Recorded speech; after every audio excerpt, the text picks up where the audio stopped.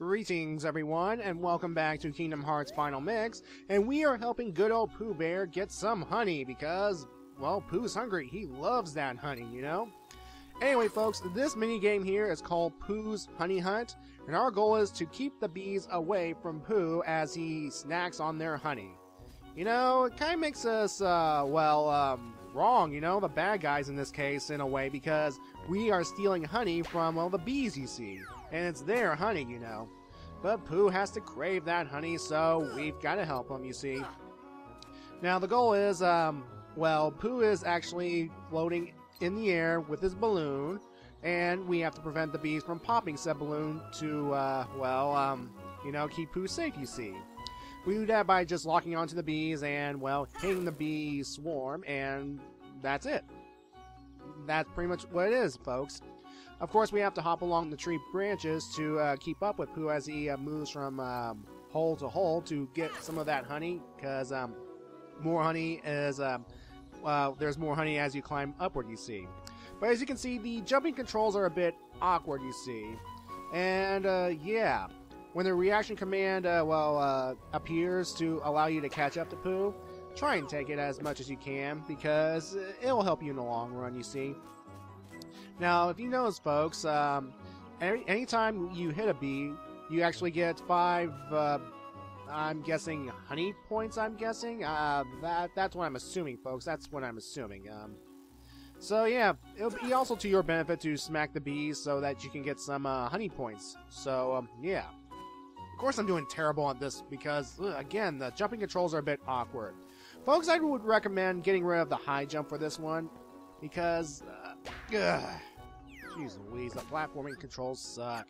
Yeah, this is me actually getting rid of the high jump because, um, ugh.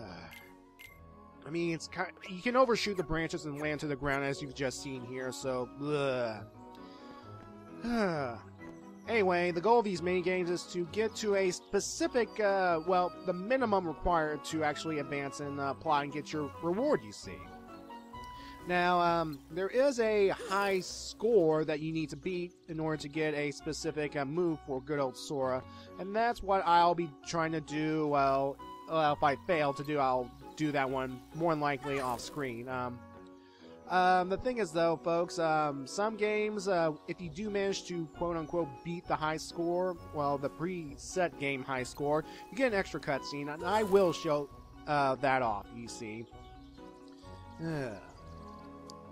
So, yeah, folks, um, hitting bees with your Keyblade. Fun, exciting, and yeah, definitely reminds me of a good old Winnie the Pooh and the honey tree, you see. Only instead of that whole uh, scheme with, uh, you know, tut tut, it looks like rain and all that sort of thing, we get to hit bees with a Keyblade because, well, Christopher Robin doesn't have a Keyblade or something. Sora does. So, yeah, that's it for this game. Oh, that was yummy in my tummy. But there is room for a bit more. That cutscene means that, well, we've successfully completed the minigame.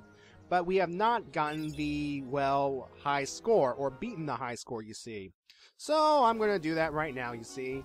And the best way is to make sure you get Pooh to the very top and protect him from the bees as he smacks away at that honey, you see.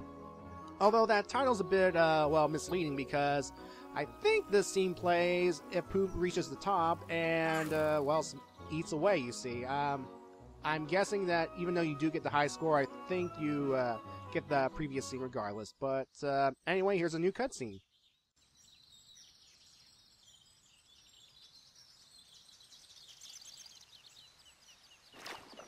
It is rather funny what I will do for honey.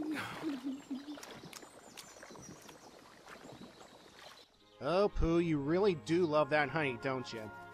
Anyway, folks, in order to beat the high score, you need to get over a 100 plus points, uh, and um, it's not that hard once you figure out what to do exactly. It's just going to take some time and patience, folks.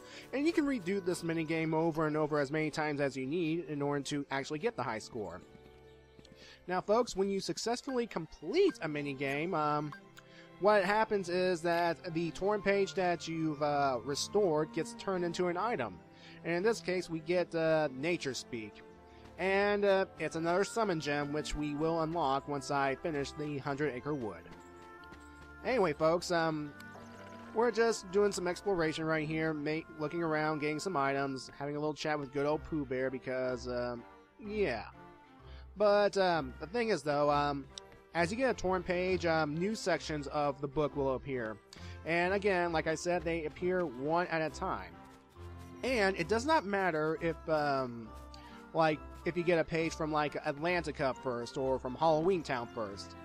The pages will reveal themselves in the exact same order, so. Yeah, um, I'm guessing it doesn't really matter in what order you get the torn pages. That is, if you're just going for the at one at a time, you see, and coming back to the book over and over and over again, which can get a little bit uh, repetitive and boring. So it'd be a good idea just to get all the books at once so that, well, you can actually um, move on, you see. Anyway, folks, this is the location of the second torn page, and uh, it's actually another familiar location. Folks, this is Rabbit's house and Rabbit's garden. Yep, a torn page is dedicated to good old Rabbit himself. Ah, Rabbit. You gotta feel sorry for that guy. I mean, Pooh always comes to his house to, well, take his honey, and and Winnie the Pooh in the honey tree, he, he, he gets stuck in that hole, you see, cause, um...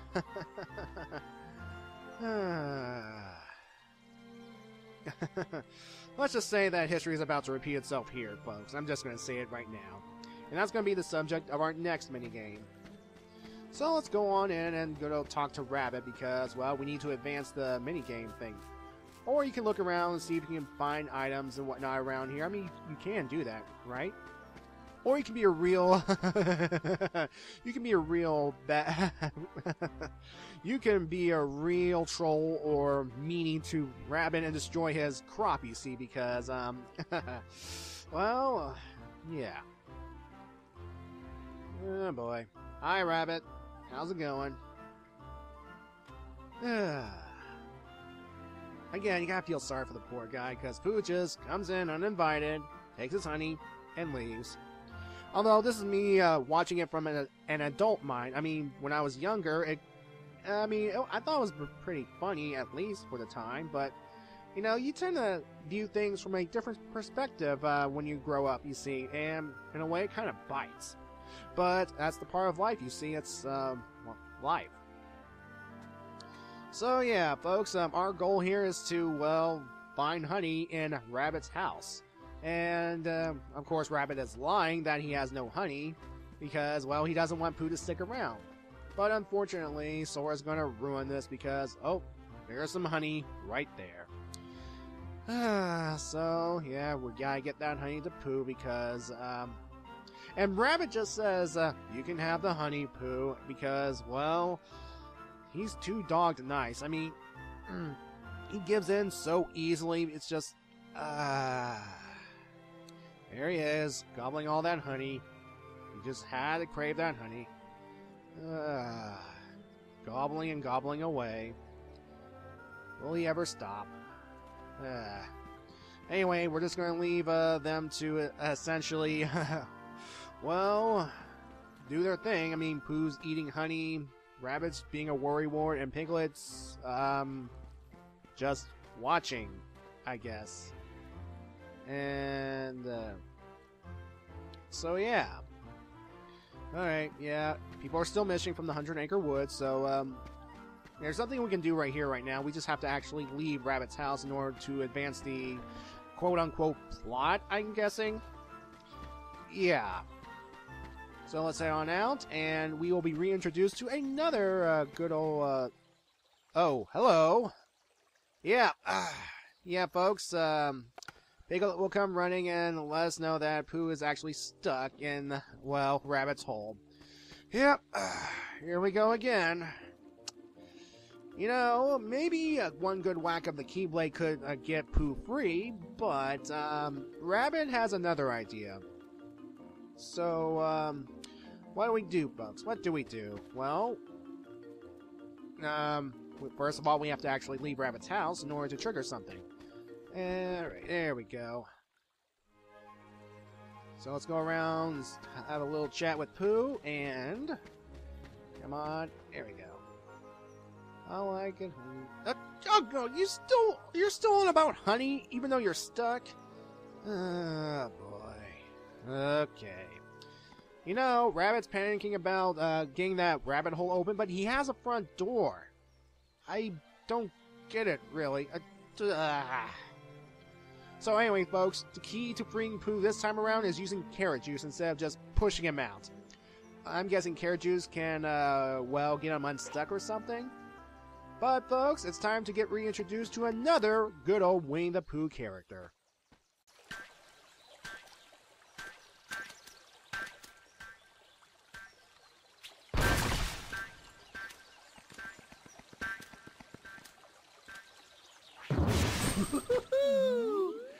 Hey there, name's Tigger. T-I-double-G-R, that spells Tigger. Well now, I don't think I've ever seen you before. Hello, Tigger. You've just bounced my new friend, Sora. Hey, Pooh. Say, you're looking mighty uncomfy today. Is that some new exercise? Why, bouncing around is a lot more fun. well, why do you bounce around so much, Tigger? Why? Because bouncing's what Tiggers do best. Speaking of which, my bouncing spot has gone and disappeared. So for now, this will be my new bouncing ground.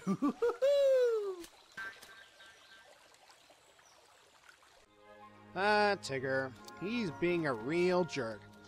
Because his bounty spot is currently missing in action, it's one of the torn pages, by the way, he has to come here to Rabbit's home in order to bounce around because he needs to bounce. He's a Tigger, you know. The one, the wonderful thing about Tiggers is uh, that Tiggers are wonderful things.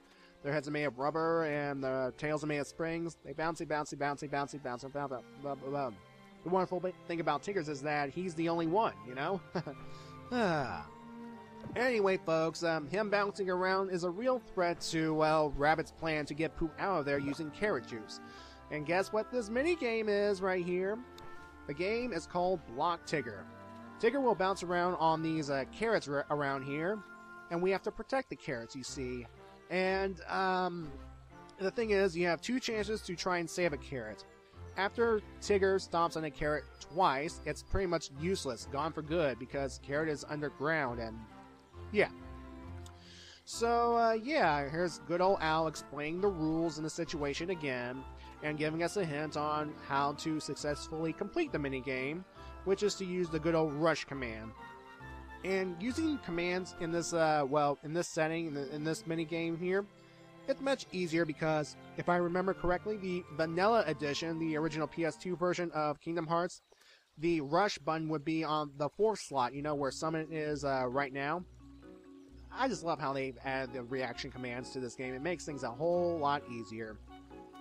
So yeah, we have one minute to uh, go to Tigger and block his attempts to, uh, well, essentially destroy the carrots because they are the key to getting Pooh out of there. And why would uh, Tigger be doing this? Well, a Tigger loves to bounce, you see, and he needs to bounce. And, you know, as much as I like Tigger and all that sort of thing, he needs to learn some self-control or something. You know, um, you know, uh, have some restraint or at least some respect for certain people's property. But, you know, well, considering that Pooh usually comes over to Rabbit's house to get honey, I, uh, yeah. So, yeah, folks, this is it right here, and uh, try and save as many carrots as you can, and try to block as many, uh, try to do amount, do some blocking as best you can, because, um, your score is determined by how many blocks you successfully executed, and how many carrots you save at the end. Those uh, they'll be multiplied together to into your final score, and yeah. So you've seen here, I've blocked Tigger about nine times. See, nine times, and I, I've saved 11 carrots and multiply them together, 99, and that's the score I need to actually complete the game. Hey, you kept up pretty good there, Sora, especially for a non-Tigger. Let's have another go.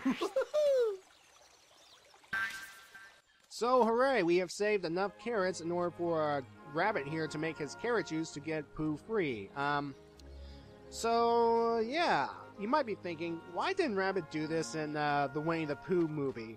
Well, to be fair, folks, it, it never came up in that Winnie the Pooh movie. Besides, he had to wait days and days and days in order for Pooh to budge, in order for everyone to push and pull him out because, um, Pooh was actually losing weight while stuck in Rabbit's hole. But, we, and we want to get things moving along, you see, because, um, yeah, video game and stuff. Um, yeah. Again, folks, uh, people, I, I think people do not like this minigame because of its, uh, pace-breaking action, but at the same time, you just, um, you kind of you kind of have to relax. You see, you know, get away from all the stress of being up heartless and saving all the world. You know. Oh, bother. Where am I? It's ever so dark in here. Well, it isn't so bad, I suppose. there is plenty of honey. You know, it would have been interesting to have Pooh actually fly out and land inside the honey tree because that's what actually happened the last time. But then, of course, there's that whole um, extra force of Christopher Robin and company pulling from one end and Rabbit pushing from the other, so yeah. And here's what happens when you uh, beat the high score, which is uh, over 150. So yeah. So I blocked 14, 15, and I got 210, and yeah. Oh, what's going on? Nobody keeps up with Tiggers. Hmm, maybe there's something wrong with my tail. Tigger, you have not met someone who knows the power of trial and error, plus he has a giant key in which he can save the universe with. And why am I being a jerk to Rabbit, even though I just saved his carrots? Well, uh, I think sometimes you can find items among the garden. I think. I'm just, uh, well, nothing's popping up, and I'm just ruining Rabbit's garden because, yeah, I'm no better than Tigger in this case. we got a letter here, and let's read it. Oh, Tigger. Uh, I guess you'll never learn or something. Anyway, folks, for successfully completing this minigame, we get a Mythril Shard for, well, synthesis purposes. But don't worry, folks, we get better items as we advance through, well, this plot, quote unquote. So, yeah, folks, uh, we got um, some more minigames to complete next time, and um, don't worry, the, the rewards will be worth it. So, yeah, it would it would it would it would be a, a, good idea to actually come here to well you know raid this place you know? We get rewarded for doing good deeds you see especially here you know? All right and why would rabbit have clothes here? He doesn't wear clothes. Ah. and the bridge is still broken thanks to good old tigger. And folks i'll see you next time when we do more mini games um see ya